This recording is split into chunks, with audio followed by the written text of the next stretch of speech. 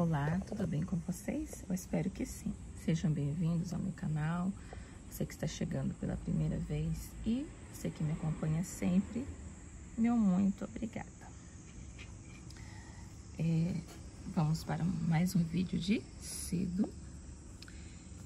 E o nome dele é Sedon Divergens. Aqui no Japão, ele é vendido como Sedon de Badianso, né? É, também, em nome em inglês também é Amerocedo divergens. Ele é uma planta que não é tóxica e é usado como vegetal, ou seja, ela pode ser comida, né? É, pelos povos de Haida Enis Gaia acho que é uma, uma população indígena, não é? Ele é chamado de Stone Crop de cascata, Stone Crop de pacífico, Stone Crop de espalhamento. Ele é uma planta de baixo crescimento, realmente, ó, né? Baixinho. Da América do Norte Ocidental e do Alasca ao norte da Califórnia e deve ser cultivado em sol pleno ou sombra parcial. Eu estou cultivando no sombrite, né? É, ele está aqui ao lado do Cido Orange Drink, é uma mudinha bem pequenininha que está crescendo agora, né? Conforme ele for crescendo mais, eu vou arrumar um espaço maior para ele. Aliás, acho que já está na hora de replantar já. Apesar que aqui tem bastante terra, ainda é bem fundo, né? Esse aqui, na verdade, é um, um negócio pra por maquiagem, né? Vai cair um bronzinho aqui. Deixa eu colocar pra cá pra ela vingar, que aqui tá, não tem terra aqui. Ai, cuidado pra não esmagar. Aqui, pronto. É, só que eu vi pessoas cultivando suculenta nele, né? Claro que eu tive que fazer furos. E eu achei que ficou muito lindo. Eu ainda não coloquei nada aqui, né? Quer dizer, coloquei, na verdade, uma bolinha aqui do selo de vergens, né? Mas ele tá quietinho aqui, né? Ainda não, não se espalhou, não.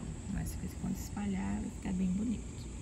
Ou pode variar, né? Com outro tipo de suculenta que não cresça muito, né? Pra ficar bem kawaii. É... Ele é nativo de, de Oregon também. Ele é encontrado em elevações médias e altas das cascatas. Nasce em cortes de estradas recentes e falésias rochosas e de cascata. As folhas são pequenas, verdes e roliças. Esse também é a segunda vez que eu tô tendo. A primeira vez que eu tinha, ele tava bem grande. Acho que tava dessa altura aqui já e bem espalhado, né? Seria, acho que mais ou menos pegava tudo isso aqui, assim. Não nesse vaso, né? Estava no, no outro vaso. E também, não sei se foi por causa do inverno que eu perdi ele. Não, não foi no inverno que tava aqui, tem ao. Acho que foi por causa de chuva também. É, ele ficava no tempo, né? No sol pleno. Então, quando eu encontrei esse aqui de novo, né, fiquei muito feliz.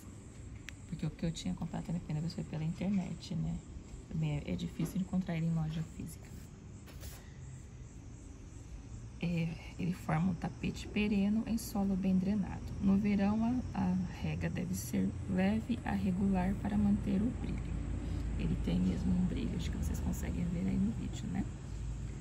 No final da primavera, aparecem cachos de flores amarelas em forma de estrela dourada. Ele assume tonalidades vermelhas no tempo frio. O caule dele é vermelhinho, ó, gente. Olha que lindo. Também é bem delicadinho, né? Ó, aqui já tem um galhozinho maior, né? É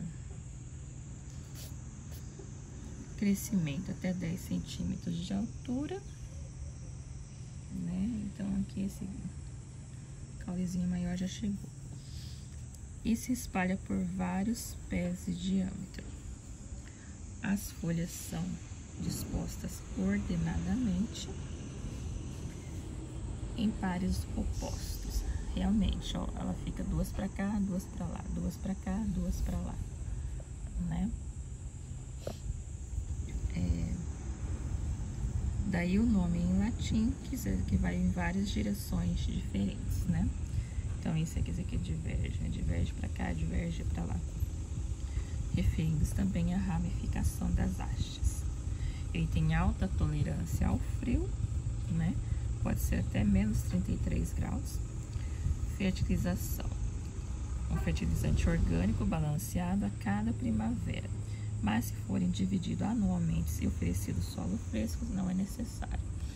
Então você pode fertilizar, né? Mas se caso você for dividir né, anualmente para que ele tenha espaço para crescer, então não é necessário fertilizante, né? Então, esse foi o sedum de hoje. Aí me digam vocês se vocês já conheciam o sedum de vergens. Gostaram dele? Olha que linda cor no inverno. Fica meio roxinho, né? Fica parecendo com o, o Dacifila um pouco, né? Ele vai ficar mais fechadinho. Agora no verão ele fica mais abertinho. Então, gente, Deus abençoe vocês e até o próximo vídeo. Tchau, tchau.